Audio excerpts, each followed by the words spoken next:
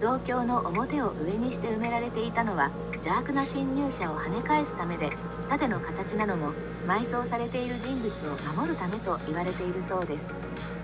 2メートルを超える蛇行剣は埋葬されている人物の権威や力を示すとともに魔除けとしての威力を発揮させるためのものでもあるんだとか。こんばんは皆さんバトムですカッミミですモンモンです DKR チャンネルへようこそフィリピンから今回は Overseas reaction The blank 4th century may be clarified Scholars around the world are excited about the great discovery of the century found in Japan に反応しますチャンネルのこれじとそれでは早速始めましょう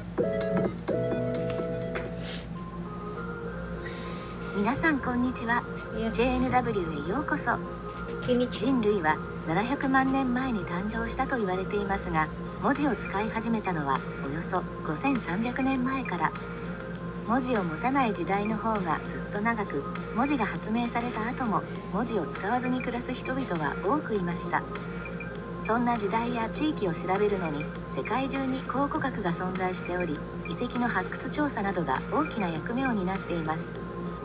中には文献や資料がほとんどなくその時代の人々が一体どんな暮らしや風習を持っていたのか未だに解明されていないものも多くあるのです。そんな中奈良県奈良市にある国内最大の円形の古墳富雄丸山古墳で2022年10月から開始された発掘調査により精緻な模様が施された盾のような大型の鏡や国内最大となる2.37メートルの波打つような形をした蛇行剣が発見されたことが2023年1月に発表され大きな話題となりました What do they 古墳 call 時代?前半期の金属器としては空白の4世紀と言われる史文献や資料がなくその実態に迫る重要な考古資料としても注目されています。I want you know そ to discover um, 日 the bones と of ど the dinosaur 世界中の学者たちにも伝わってい The て big bones of dinosaur 外国人たちからも様々な推測や感想の声が寄せられたのです。今回はそんな日本の古墳での大発見に関する話題とそれに対する外国人の反応を私エレンがお届けしていきます。最後までどうぞよろしくお願いいたします。この動画が少しでも良かったなと感じていただけたらチャンネル登録と高評価ボタンをお願いいたします。それでは行きましょう。富雄丸山古墳は1972年に発掘調査を実施してから国内最大の円形の古墳だということが分かっており出土品は国の重要文化財にも指定されています。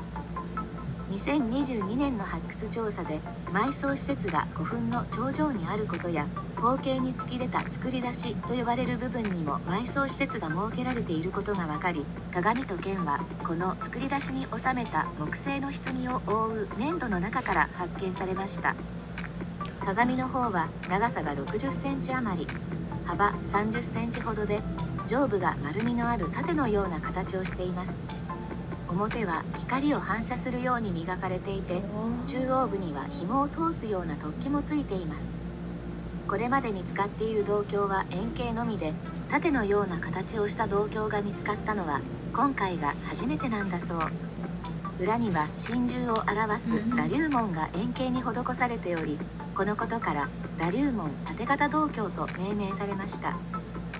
円の外側にはノコギリの刃のような線など細かく精密な文様もあしらわれていることから高度な技術力により作られた最高傑作だと評価されています。剣の方はというと蛇行剣と呼ばれる全国の古墳などでも発見されているものですが今までに出土したおよそ80本の蛇行剣の中でも最も古いものとみられ長さも2.37メートルと国内最大の長さとなっています。この国宝級の大発見に世界中の学者たちも大注目しており様々な見解が寄せられました。そして外国人たちからも多くの声が届いています。Hmm, 早速そんな声の一部をご紹介していきたいと思います it's, it's, it is considered 盾 as national treasure right? What if it is ba- found at your backyard? の狐だって日本の歴史に関係してる uh, 俺は何年も前から言っていたんだ。日本はアニメや漫画を通して本当のことを伝えてるんだってね。私今の彼と付き合うまでは漫画やアニメに興味なかったのでも今じゃ何でもそれに関連させちゃう考え方になってしまったわ。日本の神器は見たことがあるのかな。あの巨大な刀はアマテラス大神との関係性があったりするのかな。大立ちかと思ったんだけど違うのかな。日本には3メートル60センチを超える大立ちが保存されているって聞いたよ。他にもお寺にも似たような刀が保管されているらしいよ。でも日本ならこういう剣が見つかってもおかしくはないよね。長巻っていう剣もあるじゃない？戦国時代によく使われたものだよ。そういうのとはまた違うのかな？あれは剣と呼ぶにはあまりにも大きすぎない？実際は何に使ったのかそれが気になるね。こういう古代の物語って本当に面白くて気になるよね。続きが楽しみだよ日本のアニメや漫画で見るような今回の出土品に外国人たちがワクワクした様子でコメントしている姿が目に浮かびますね。日本で見つかったということもありアニメに絡めたコメントが多く寄せられていました。ところで今回発見された打竜門縦型銅鏡と蛇行剣ですがどんな目的のために埋められていたのでしょうか。銅鏡も蛇行剣も国産の可能性が高く奈良盆地にいた加工職人の手によるものと見られているそうです。特に鏡は当時の最高技術によって作られたと考えられていて古墳時代前半期の金属工芸の中で最高傑作と言えるほど銅鏡の表を上にして埋められていたのは邪悪な侵入者を跳ね返すためで盾の形なのも埋葬されている人物を守るためと言われているそうです。2メートルを超える蛇行剣は埋葬されている人物の権威や力を示すとともに魔除けとしての威力を発揮させるためのものでもあるんだとか Amazing これだ.け長い剣を作るには相当な大きなのや.人と道具が必要で It's good もたくさん必要 Yeah, 2メートルを超える.蛇行剣を1本の刀として discover から作り上げる.のは現代の技術でも難しいそうでこちらも当時の鍛冶技術の最高傑作と言えるそうです。剣の形をしているので武器と考えられそうですが剣の長さや刃の波打つ特殊なデザインから実際に使用するものとしては扱いづらく祭りの道具だったのではとも予想されています。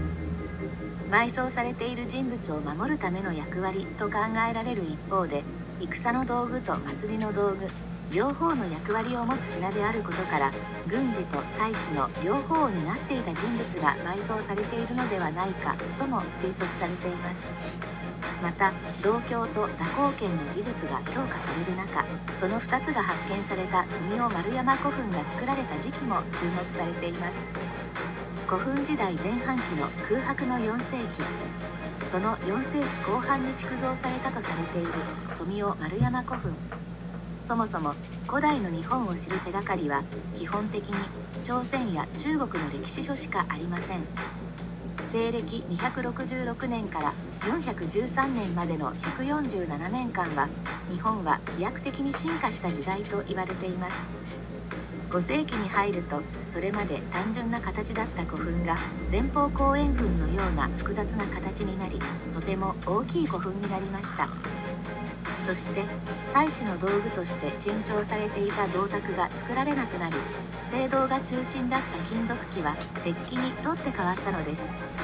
さらに古墳の副葬品も変化しており剣や鏡玉が中心でしたが馬具や王冠などの大陸の影響を受けたものになっていきました。これらの変化がどうやって起こっていったのか。3世紀から5世紀までの間は内戦によって不安定な情勢だったためか歴史的文献や記録が全くなく日本史における4世紀は空白の時代とされ大きなミステリーになっているのです。そんな空白の4世紀を解明するために今回発見されたダリュー門縦型銅鏡と蛇行剣が大きな役目を持つことは間違いないそうで当時の埋葬の在り方など貴重な資料になるそうです。富雄丸山古墳では1月の28日29日に発掘現場の一般向け現地公開が行われ28日には1403人29日には3100人と考古学ファンだけでなく多くの地元住民も長蛇の列を作りこの国宝級の発見をした現場を見学したそうです。ような発見でしたが海外でも外国人たちの興奮する様子とともに漫画などの世界観から想像した話やまるで日本人かのように鋭く歴史的に推察するようなコメントも寄せられています。続けてそんなコメントも見ていきましょう。天童子や土雲退治で知られる源頼光と彼を支えた四天王の話を思い出したよ。この話を聞いて思い出したんだけどちょっと前に殺生石っていうものが割れたんだって。鬼はやっぱり本当にいたのかも。殺生石は九尾の狐の話が関係してるんだよ。割れたのは何かの前触れなのかなって感じがして仕方がないよね。馬に乗った武士の中には馬から敵を振り落とすために One on your 長い剣を持 distraction. つ武士もいたん I'm reading. And I saw your face like that. 間違いじゃなかったらザンバ島って呼ばれてない？それにしても学者もアニメを見てる時代なんて素敵だね日本神話では.鏡と剣と玉を権威の象徴として皇位に.授けていたんだろ？棺の中にいる人物が.王様じゃないなら今までの価値観が uh, ひっくり返される発見かもしれないよ日本は呪いと.か超自然的なものを信.じすぎているのか古代のものには触れないっていうイメージがあるから日本は考古学とあまり結びつかないんだよね Um, この時代の日本では.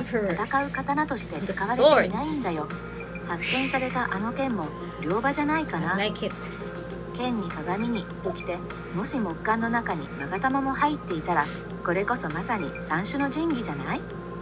いや彼らは見つけたんだこれはセフィロスの剣じゃないか？考古学と漫画のコラボてとても.魅力的だわ蛇のような剣に.鏡のような盾 mhm. メデューサの話を知ってるかい？はっきり言ってブリーチのキャラクターが持っている武器なんじゃないかって思ってるよその棺を開けたら彼らはきっと呪われてしまうんじゃないかって心配だよ Oh.